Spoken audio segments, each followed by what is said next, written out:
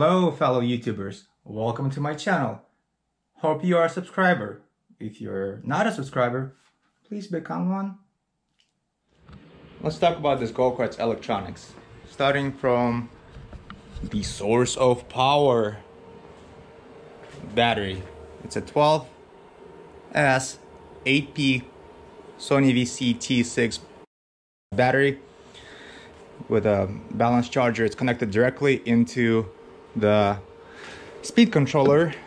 And in this case, it's FlipSky uh, 6.6 that I run at 80 amps per motor.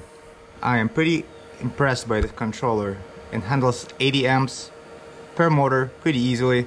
Uh, I did have to put it on a aluminum heatsink and put some active cooling fans on. Before the heatsink, it would get hot at 80 amp per motor output as I run it hard and reduce power output in order to protect itself. But with the aluminum heatsink and two small fans, it runs cool. It doesn't even get hot after long ride that are really hard. Motors I'm using are FlipSky 6384 190 kV motors. Uh, they are rated up to 80 amps and this is what I'm running them at. at. This week I'm going to be upgrading the motor to 8085 motor just to give it more of a resource. Uh, this is plenty of power but the motors are running pretty hot um, so I'm running them at max capacity. This is what I'm going to upgrade it to. It's to be my next project for this go-kart build.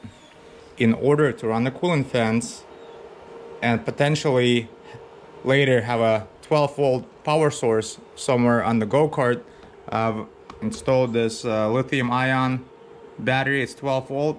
It's got a USB char USB charger plug and a 12 volt output.